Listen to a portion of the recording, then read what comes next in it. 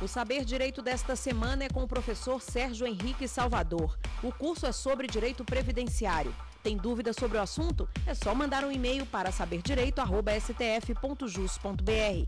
Você pode também estudar pela internet, acessando o site www.tvjustiça.jus.br.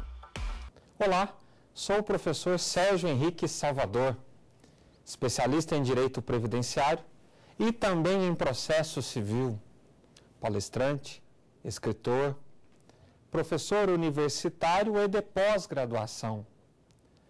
Também um estudioso, um estudante do direito previdenciário. Seja bem-vindo, senhor, seja bem-vinda senhora, para mais uma aula do Saber Direito. E especialmente ainda dentro do tema Atualidades do Direito Previdenciário.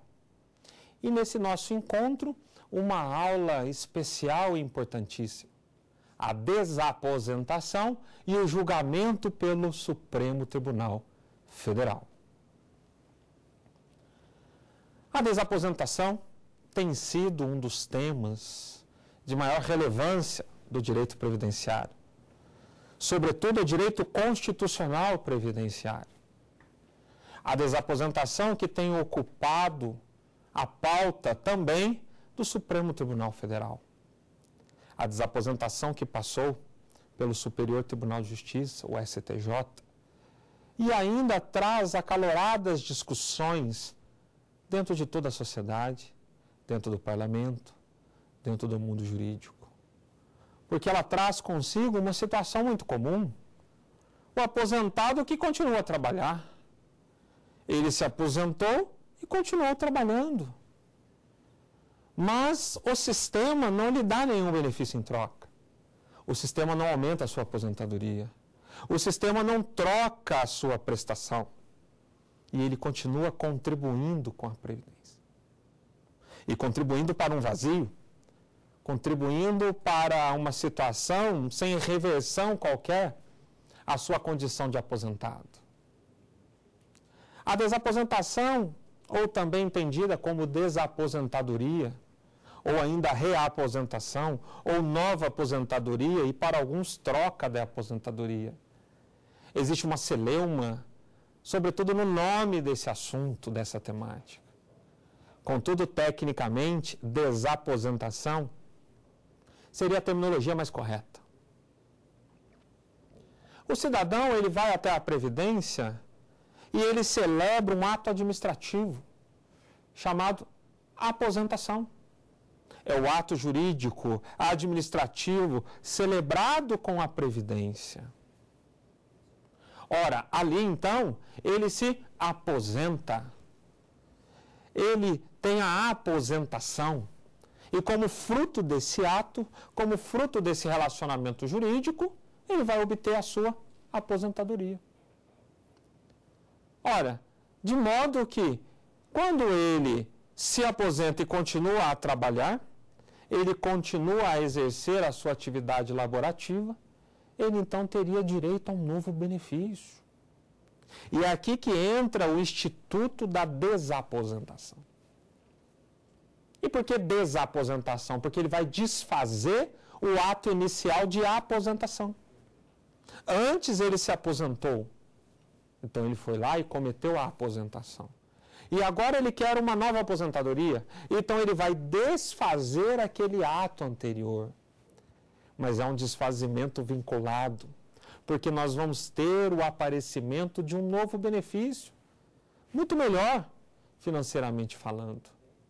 Porque no novo benefício, esse trabalhador que aposentou e continua trabalhando, ele tem uma novidade, ele tem novas contribuições, o tempo de trabalho é maior então, na maioria das vezes, nós temos um plus salarial, nós temos uma majoração desse benefício. Assim, a desaposentação tem sido alvo de grandes discussões no nosso mundo jurídico. Ora, ela é prevista pela lei? Eu não tenho essa previsibilidade normativa. Temos projetos, é bem verdade, a respeito da desaposentação mas a sua grande força vem da doutrina. A sua grande força vem também de alguns julgados sobretudo de suma importância, que já tivemos a respeito. Mas a contribuição doutrinária aqui ela pesa. Ela pesa muito para entender, compreender e viabilizar a desaposentação. A bem da verdade, a legislação ela tenta restringir o retorno desse aposentado ao mercado de trabalho. E quando ele volta, ele teria direito, segundo o artigo 18 da Lei de Benefícios, Lei 8.213-91, a apenas duas situações: a reabilitação profissional e ao salário família. Porém, esse mesmo diploma legal, aliás, regulador de todo o pacote previdenciário, não traz objetivamente um artigo, um inciso ou a linha sequer, regulamentando a desaposentação, condicionando a desaposentação, ou, objetivamente, afirmando que ela não exista. Assim, doutrinariamente, nós temos um avanço contributivo espetacular. Poucos sabem, mas nós temos dois artigos pioneiros nesse assunto da década de 80, nós temos o primeiro artigo, e depois na década de 90, nós temos um outro artigo a respeito da reversibilidade de benefícios. Ali a doutrina, a doutrina previdenciária já começava a semear o que hoje é a desaposentação. E esse mesmo assunto ele foi alicerçado ao longo do tempo, sedimentado, construído com a apoio da jurisprudência. Em linhas gerais, o cidadão que quer se desaposentar, ele quer um novo benefício. Ele trabalhou, aposentou, mas aposentou e não foi para os seus aposentos, ele continuou a contribuir. Interessante que a ideia seria ir para os seus aposentos. Aqui a semântica da palavra aposentadoria, ir aos aposentos. Porém, esse fenômeno esperado não ocorreu. Sobretudo pelas oscilações do tratamento dos benefícios. Sobretudo pelos critérios defasados de reajustes previdenciários. Sobretudo por uma política que não reajusta adequadamente os benefícios. E ele vai se distanciando, por exemplo, do reajuste do salário mínimo, criando defasagens criando oscilações. A ideia do teto previdenciário, do regime geral, ou seja, ele pode ter uma boa base contributiva, mas a sua aposentadoria está limitada ao teto. O fator previdenciário, que nada mais é do que um grande redutor, uma fórmula matemática que reduz.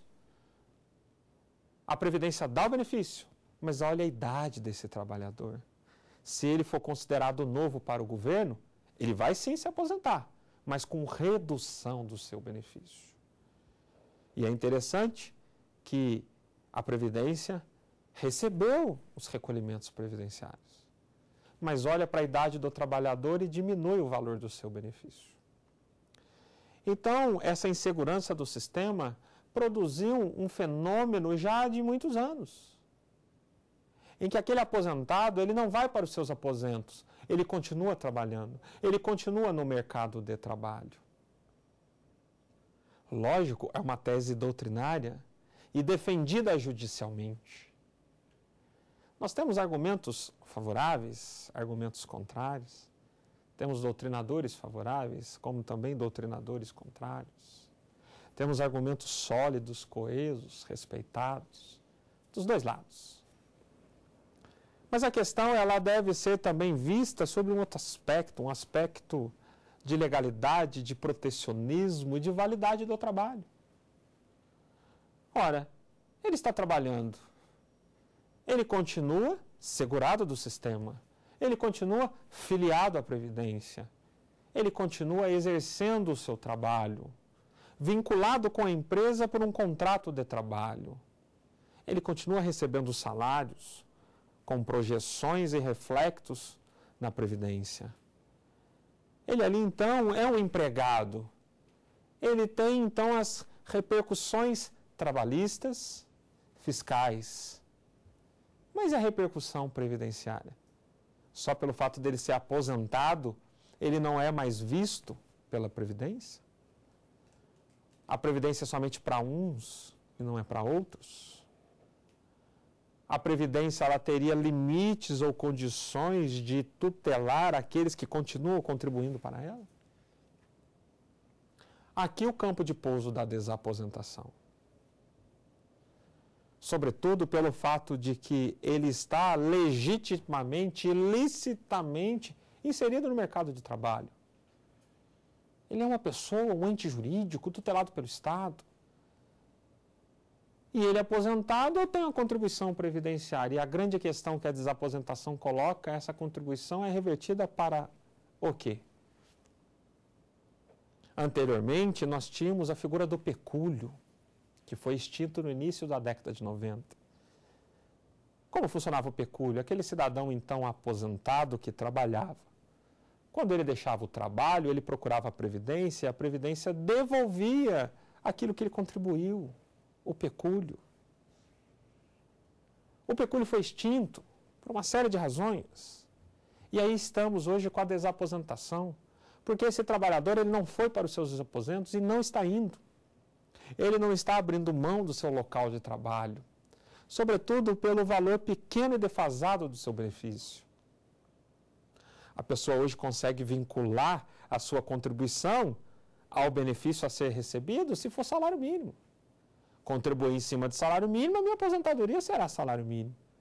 Mas o inverso, ou seja, uma contribuição maior, não significa que vai ter um benefício nos mesmos moldes em que contribuiu. Essa é uma das várias oscilações do sistema que justifica a desaposentação e tem justificado. A desaposentação procura o bem-estar do indivíduo, desse trabalhador. Como o Supremo Tribunal Federal tem enfrentado esse debate, como a doutrina também tem colocado. Esse cidadão aposentado, ele é um sujeito de direitos, ele tem deveres e obrigações. Em cima da sua contribuição, do seu salário da empresa, vai ter a contribuição INSS. Mas ele já é aposentado. Então o governo só vai arrecadar e não vai lhe dar um outro benefício. E não vai incrementar dentro do seu benefício essa contribuição que é feita.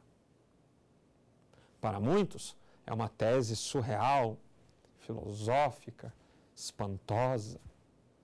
Para muitos, ela não existe, não tem possibilidade jurídica. Mas, em uma análise factual, quantos trabalhadores estão ainda ativos no mercado de trabalho e aposentados? A legislação, a norma deve regulamentar, tratar de condutas sociais. Como a desaposentação não tem um permissivo explícito, como também não tem aquele óbice explícito a ela, eu tenho que entender outras situações. Eu tenho que procurar outros caminhos para sustentar essa tese. E assim tem feito a doutrina e também a jurisprudência. Não se trata de uma criação filosófica iluminada da noite para o dia, mas estudos teóricos a respeito. Nós tínhamos um tratamento a essa conduta com a figura do pecúlio. A situação factual era resolvida. Ele se desligava da empresa, o que ele contribuía após a aposentadoria, o governo lhe devolvia. E assim é até hoje em alguns países lá na Europa. Mas nós preferimos adotar o modelo da revogação. Revogar previamente sem discutir. E o curioso é que o pecúlio foi na década de 90 que ele foi extinto. E a nossa legislação basilar, a 8.213, é de 1991. E cerca de dois, três anos depois, o pecúlio é extinto, ou seja, não deu tempo nem de amadurecer essa situação, que talvez se hoje fosse existente, nós não teríamos a desaposentação ou não teríamos ela como hoje ela é compreendida. Então, esse indivíduo, ele deve ter uma tutela especial, específica do Estado. Ele deve ter um tratamento diferenciado ele deve ter algo que o Estado lhe dê em troca. E aí que entra essa tese. E a justiça tem sim enfrentado o debate. não de uma maneira unânime, mas majoritariamente, em que pese estarmos aí num embate quase que de empate técnico dentro do Supremo Tribunal Federal.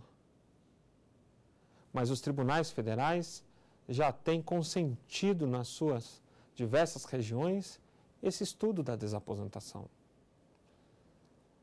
Logo, um estudo temático importante e ideal para grandes pesquisas, sobretudo a literatura jurídica. Aqui, uma introdução conceitual, algo a respeito do Instituto em si.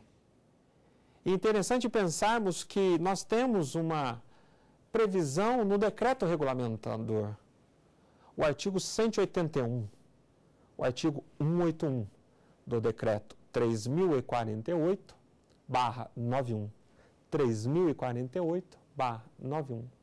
Ele diz que as aposentadorias, depois de recebidas, são irrenunciáveis. Não tem como desistir.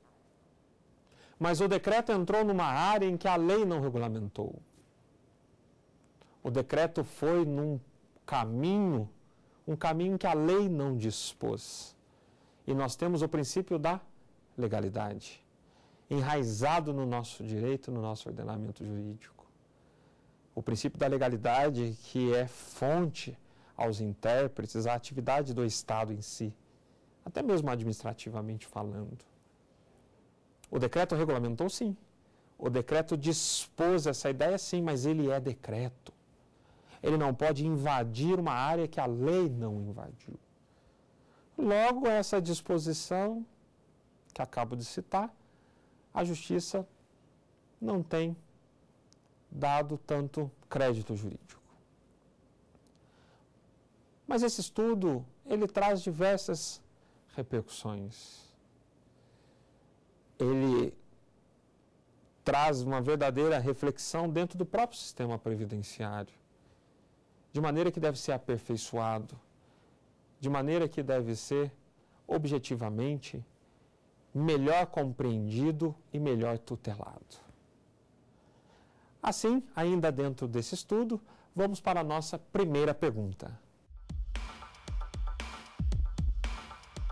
Eu queria saber qual o conceito de desaposentação. A desaposentação é um termo doutrinário, uma criação doutrinária, e a jurisprudência tem aperfeiçoado. Não existe um conceito legal da norma mas um conceito de estudos doutrinários. A doutrina coloca como um ato de desfazimento, de desconstituição da aposentação. Um ato desconstitutivo da aposentação. Eu vou desconstituir a aposentação, por isso o prefixo des, de desconstituição, para ele se aposentar novamente com outro benefício. E esse novo benefício deve ser visto sobre um olhar benéfico, porque ele terá um novo tempo, ele terá uma nova massa contributiva e esse trabalhador terá mais idade. Lógico, aquele que se desaposenta tem um benefício financeiramente muito melhor, tem um benefício economicamente interessante, fruto da desaposentação, fruto da consequência jurídica, de uma das consequências jurídicas dessa tese. Essa tese que ainda é muito debatida, essa tese que é alvo de acaloradas discussões. Nós temos ainda a ideia da despensão, ou seja, aquele cidadão aposentado que continua a trabalhar e depois de alguns anos da sua aposentadoria, trabalhando, vem a falecer o seu benefício vai ser convertido em pensão. Mas será que essa viúva também não teria direito de buscar a despensão, já que ele em vida se aposentou e continuou a trabalhar? Percebam como que é rica essa temática. A desaposentação também em outros regimes, ela existe também e é possível no regime próprio do estatutário, como também em previdência privada É lógico que, guardadas as proporções, os seus requisitos, nada impede dele estar aposentado dentro de um regime próprio e dependendo de uma outra atividade que ele esteja vinculado num regime geral, ele possa aí buscar um novo benefício nesse regime geral e trazendo esse benefício do regime próprio. Não há nenhum impedimento, não há nenhuma norma proibitiva e o Instituto ele é estudado, deve ser estudado em sua amplitude. Até porque ainda estamos aguardando a decisão do Supremo Tribunal Federal. Esse julgamento do STF é um julgamento que não é novo. Mas antes, nós já tivemos outros pronunciamentos da Justiça. Tivemos o pronunciamento do STJ, Superior Tribunal de Justiça, em 2013, no seu plenário, reconheceu o direito da desaposentação. E mais, afirmou que nada pode ser ou deve ser devolvido por esse trabalhador. Aqui é a tese da restituição. O INSS tem uma tese fortíssima, dizendo o seguinte: você quer se desaposentar, você quer um novo benefício, mas você tem que devolver aquele que você recebeu. Aqui a restituição, a tese de devolução do benefício que vai ser desfeito. Mas esse benefício ele não vai ser apagado, ele vai ser incrementado, ele vai ser alocado no novo benefício. Então nós temos uma aposentadoria atual que vai ser desfeita, nós temos umas novas contribuições que se somadas, as contribuições que geraram aquele benefício a ser desfeito, mais as novas contribuições, eu vou criar um novo benefício. Então faz parte de um processo em que eu vou sim desfazer de algo, mas eu vou levar essas contribuições com base em outras contribuições e criar um novo benefício a ser garantido e tutelado pelo Estado, isso que vem sendo feito através da justiça. De modo que a restituição tem sido aí uma tese fortíssima da Previdência uma tese sólida, coesa, com diversos fundamentos, mas que também tem sido afastado por vários precedentes. Sobretudo do STJ. O STJ, como disse, em 2013, no seu plenário, ele assentou que não há necessidade de devolução alguma. Ele assentou que verdadeiramente a desaposentação é legítima. Ele afirmou que não há nada de errado em esse trabalhador aposentado postular, reclamar, vindicar um novo benefício. Julgamento esse feito no recurso especial número 133 448 8 barra Santa Catarina. Recurso especial 133 448 8 barra Santa Catarina, que teve como relator o ministro Herman Benjamin. Decisão essa do STJ de 2013 do seu plenário. Agora a questão que se coloca. Hoje temos a desaposentação no Supremo Tribunal Federal, no plenário do Supremo Tribunal Federal. Mas será que o STJ já não foi a última instância da matéria? Ora, como sabemos, o artigo 18 da Lei 8.213-91, a conhecida e já citada Lei dos Benefícios, ela traz consigo o pacote dos benefícios previdenciários e tantos outros pacotes, como o pacote também de benefícios aos dependentes, a outras obrigações, a algumas normas de custeio, enfim, ainda que pequenas, mas, a bem da verdade, o STJ aprofundou esse debate. E quem é o STJ? O conhecido Tribunal da Cidadania, o Superior Tribunal de Justiça, aquele interpretador, aquele que vai dirimir e interpretar a controvérsia da norma federal. E por que citei aqui o artigo 18? Porque nós temos o artigo 18 da Lei de Benefícios, que é uma lei federal. Ora, assim sendo, Será que o STJ já não bateu o martelo em última e derradeira instância? Será que devemos ainda aguardar esse pronunciamento da Casa Maior da Justiça? Será que ali nós teremos ou estamos tendo debates de legislação federal? Que é uma competência, uma matéria própria e típica do STJ? A doutrina tem assim também se pautado. Vários doutrinadores costumam a registrar esse válido ponto de vista. Nós sabemos que no STF nós devemos ter o embate de normas constitucionais. Assim, há a previsibilidade da Constituição no artigo 102. O artigo 102 da Constituição Federal vai trazer o recurso extraordinário, como aquele recurso em que uma matéria extraordinária será objeto de tutela do Supremo. A matéria extraordinária é a matéria constitucional.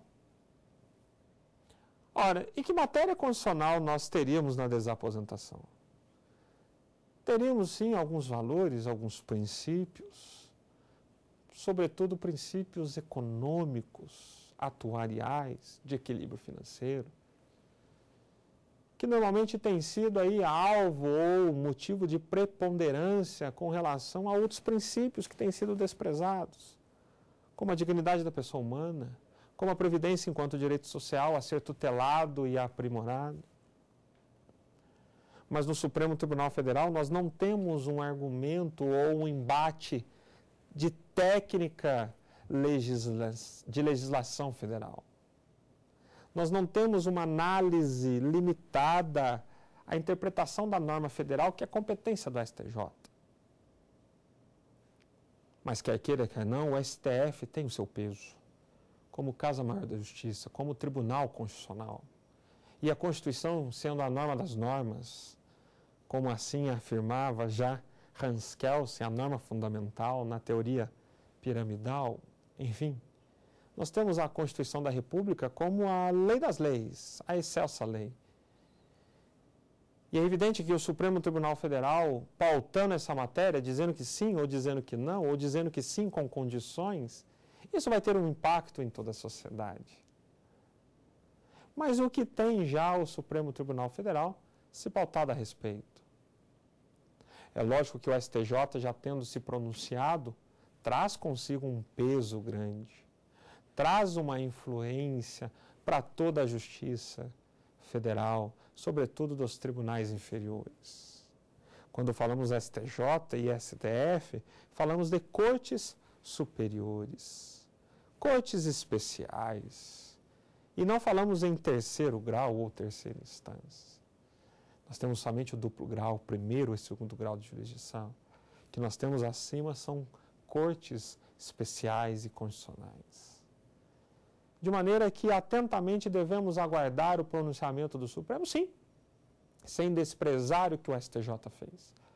Aliás, a doutrina espera que o conteúdo do STJ também possa impactar o julgamento do Supremo Tribunal Federal.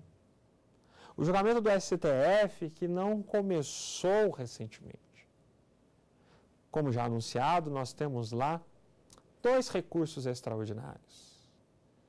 Nós temos um RE, de relatoria do ministro Marco Aurélio de Mello, e também um outro RE, atualmente, de relatoria do ministro Barroso. São recursos extraordinários recentes, com relação à temática em si. Mas a causa já estava sendo debatida anteriormente pelo STJ e também em outros pronunciamentos. De modo que devemos entender e compreender o direito previdenciário e também a desaposentação num aspecto singular, num aspecto de verdadeiramente calcarmos a, a uma ideia de evolução do direito previdenciário. A desaposentação, assim, é algo a ser pensado é algo a ser aprimorado. Ora, devemos então entender esse julgamento do STF como um julgamento divisor de águas? Talvez, talvez. Muito embora nós temos que compreendê-lo sobre uma outra ótica, uma ótica em que devemos compreender a previdência como algo a ser evoluída.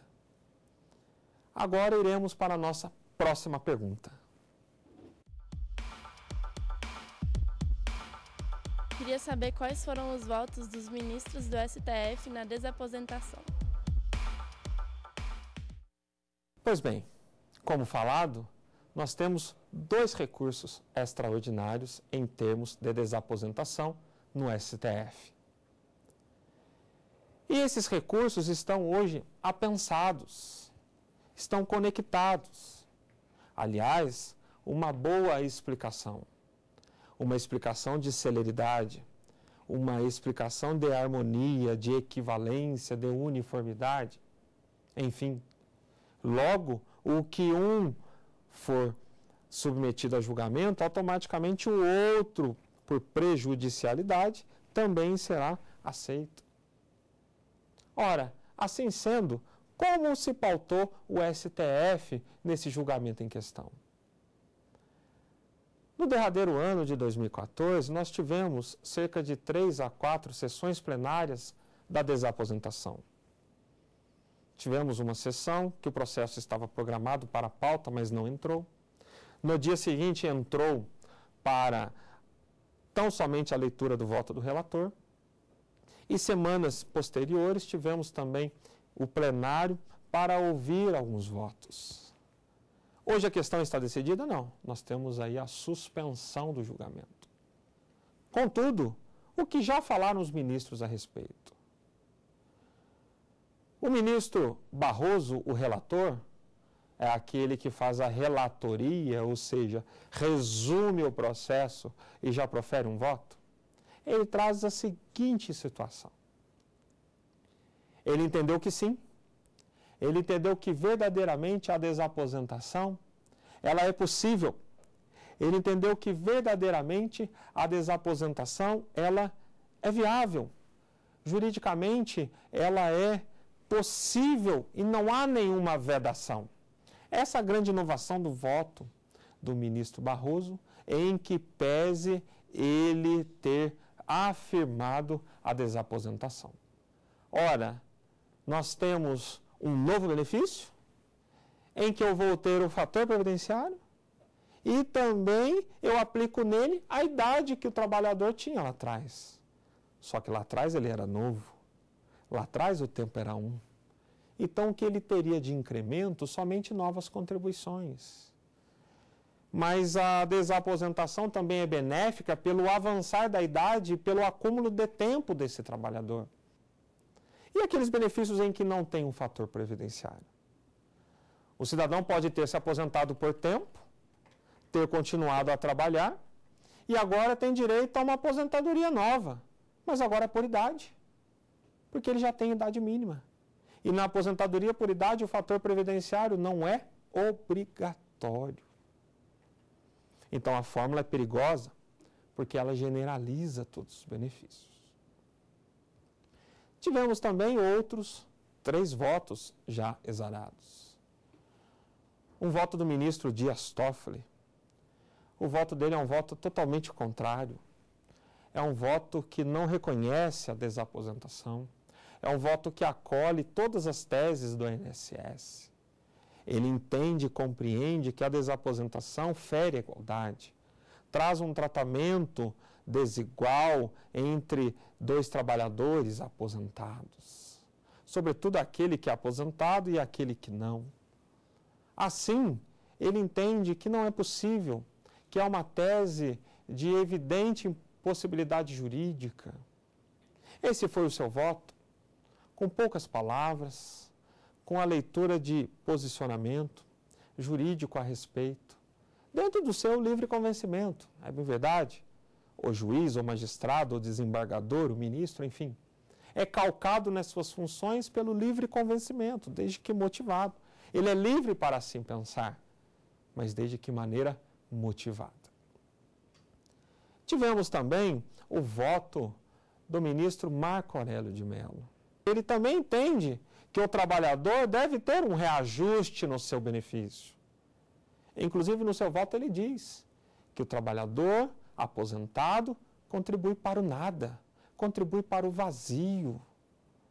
E cadê a dignidade desse trabalhador? Cadê a dignidade da pessoa? Ele não pode ser tratado como alguém sem proteção, sem tratamento. Ele deve ter essa esse olhar diferenciado do Estado. E o ministro Marco Aurélio de Mello também traz uma condição interessante, porque ele diz que o benefício deve ser sim revisto depois de determinado tempo contributivo pós-aposentadoria, que é um sistema semelhante que temos na Europa em que lá alguns benefícios são periodicamente revistos, automaticamente revistos pelo Estado. Ele aposentou, continua a trabalhar, no ano seguinte, o próprio governo faz o aumento do seu benefício. De modo que o seu voto foi um voto de afirmar a tese. Foi um voto de realmente confirmar a tese da desaposentação. Mas ele entende que seria uma nova revisão. O cidadão teria que rever o seu benefício após determinado tempo. E a doutrina entende que foi um voto favorável, tanto dele quanto do ministro Barroso, em que pesem essas formas, essas alternativas colocadas. Tivemos ainda o voto do ministro Teori Zavascki, oriundo do STJ, o ministro Zavascki, também acompanhando o ministro Toffoli, não aceita a tese da desaposentação. Aliás, ele disse que é uma norma pública e, enquanto norma pública, nós não podemos criar essas situações de desigualdades. Ele adotou um caminho um pouco mais restrito, superficial e próximo ou em sintonia com o ministro Dias Toffoli. Então percebam que nós temos até então dois a dois. Guardadas as devidas possibilidades, nós devemos ter ainda um patamar de discussões acirradas. A matéria ainda não foi exaustivamente enfrentada. Esse julgamento está de posse da ministra Rosa, que na última sessão, na sessão do fim do ano passado, pediu o voto visto. Ou seja, ela exerceu o que prevê o regimento. Ela retirou o processo do plenário para melhor estudar. E até agora não se pronunciou a respeito. Não ainda deu indicações de quando irá devolver o processo para uma discussão plenária. Estamos todos ansiosos com esse julgamento do Supremo. Interessante também pontuarmos que ele está tramitando sobre o regime da repercussão geral. O que equivale dizer que a repercussão geral nada mais faz do que aqui confirmar exaustivamente o poder e a importância da desaposentação. A repercussão geral, segundo o CPC, do artigo 543 e seguintes, afirma que aquela causa que tem uma relevância social, política, econômica, jurídica, de tal orla, ela vai caminhar como repercussão geral. Logo, o reconhecimento da repercussão já traz a desaposentação a um status constitucional. Trazendo em seu conteúdo que é um tema relevantíssimo, é um tema espetacular, é um tema de sumos estudos e grandiosas pesquisas. A assessoria da ministra Rosa afirmou até então que logo, logo ela estaria devolvendo os autos para um plenário. E é o que a comunidade jurídica como um todo está aguardando, um pronunciamento definitivo, que somente se iniciou dentro do Supremo Tribunal Federal. Tivemos o voto do relator, como também três outros votos. E se fizermos uma análise, nós temos um cenário de empate. Guardadas aí essas fórmulas que foram criadas como alternativas, o ministro Marco Aurélio diz que o benefício deve ser reajustado após uns 15 anos de novas contribuições. Como também o ministro Barroso diz que eu tenho que ter um fator aplicando no fator atual alguns indicativos da idade lá da primeira aposentadoria. Mas os dois afirmam a viabilidade do assunto. Os dois em nenhum momento acabam de tentar anular ou mesmo é, diminuir a essência da desaposentação. Nós temos, assim, um franco debate a respeito da temática. A Justiça Federal, sobretudo de primeira e segunda instância, ela é bem oscilante, muito embora inclinando para a aceitação da desaposentação. Temos, aliás, alguns julgados em que temos a tutela antecipada ex ofício, de ofício. Por ser um direito social, a tutela antecipada tem sido pronunciada evoluída de maneira ex ofício. Ou seja, estando ali claro e evidentes alguns requisitos, alguns pressupostos, de ofício nós temos a decretação, a proclamação do direito. E assim a Justiça Federal tem se pautado, com uma maior resistência na primeira instância, mas não na segunda.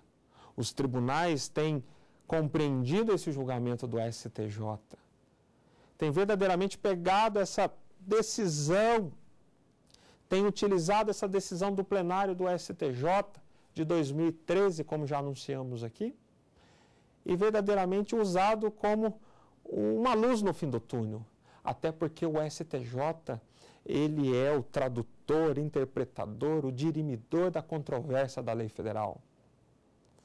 Nós conhecemos o famoso recurso especial do artigo 105 da Constituição Federal.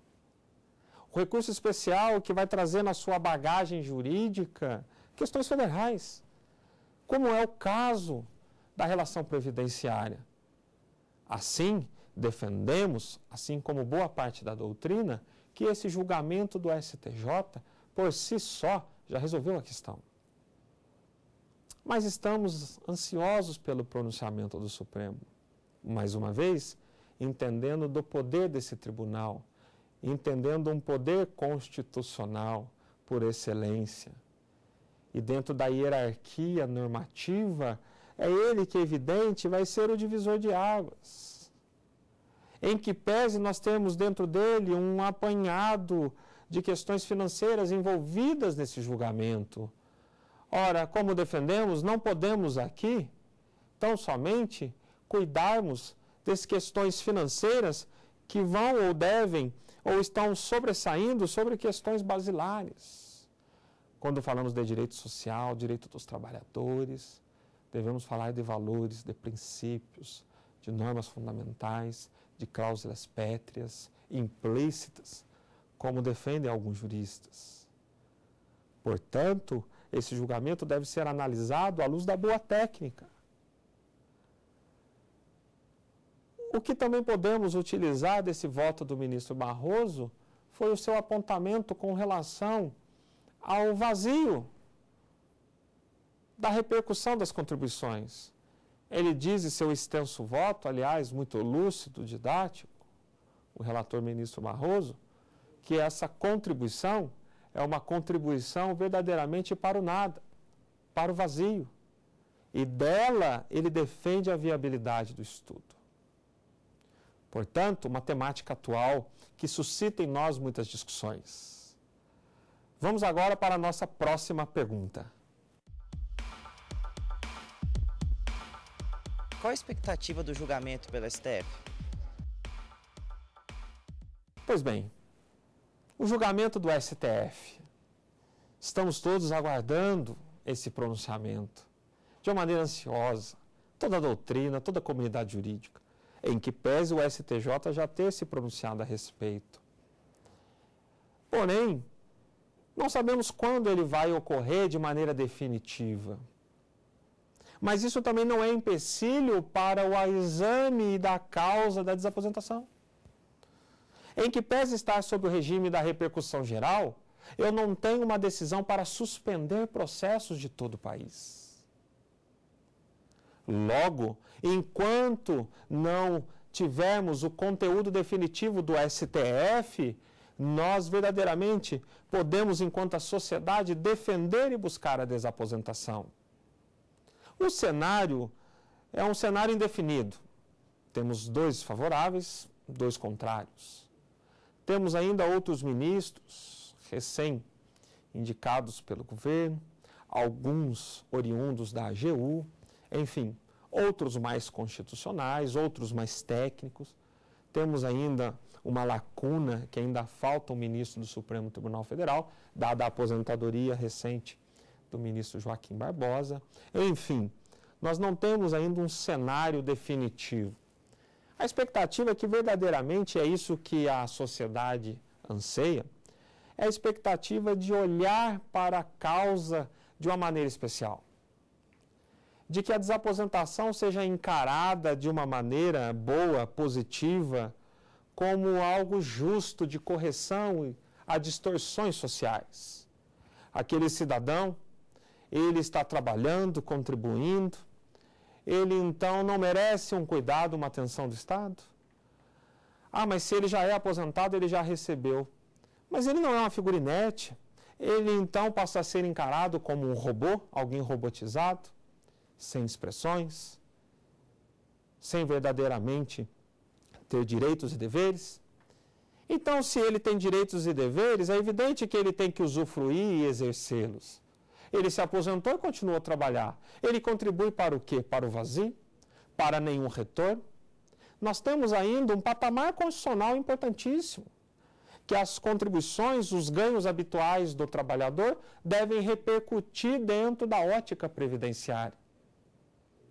Mas a desaposentação, para alguns, ela é impossível, ela é injusta, ela é filosófica, ela é surreal, ela é injusta de uma maneira que traz tratamento desigual dentro de um mesmo local de trabalho. Sobretudo aquele cidadão que aposentou e não continuou trabalhando, mas que aquele aposentou e continuou trabalhando, ele vai ter um plus financeiro. E cabe aqui destacar que ela é uma tese judicial. Não existe um pedido administrativo, não existe um protocolo dentro da Previdência não existe lá uma pretensão administrativa, é uma briga judicial de anos e anos. Mas a esperança é que verdadeiramente o Tribunal Constitucional tenha esse olhar diferenciado para o aposentado que continua trabalhando. Ele quer a evolução do seu benefício. Ele quer evoluir um princípio que é constitucional, que é a dignidade da pessoa humana. E na maioria das vezes e dos casos, ele sempre é, tem um benefício majorado, ele sempre tem um benefício recebido. É essa a expectativa que toda a sociedade aguarda. É a esperança de verdadeiramente termos um julgamento feito não somente sobre o olhar financeiro, sobre o olhar de um malfadado ou mal explicado déficit previdenciário.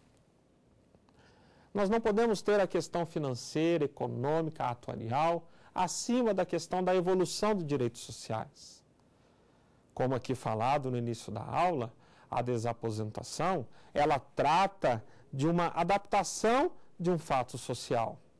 Ela trata de uma situação que verdadeiramente deve ser olhada pelo Estado como um todo.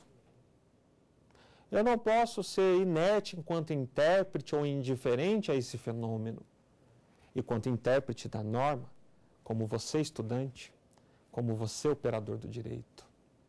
Nós devemos procurar as soluções, nós devemos verdadeiramente buscar a saída, mas numa perspectiva de evolução, uma perspectiva de aperfeiçoamento. Afinal, Previdência é direito social. Afinal, ele quer apenas uma nova aposentadoria em que ele contribuiu para tanto e que nada deve ser devolvido. Ele não agiu de má fé esse trabalhador aposentado que continuou a exercer a atividade? Qual a má fé que ele tem? Qual a fraude que ele comete para tentar devolver o que recebeu? Que para o INSS é indevido. Indevido são aqueles benefícios obtidos mediante fraude, mediante lícito. Mas ele aposentou e continuou trabalhando.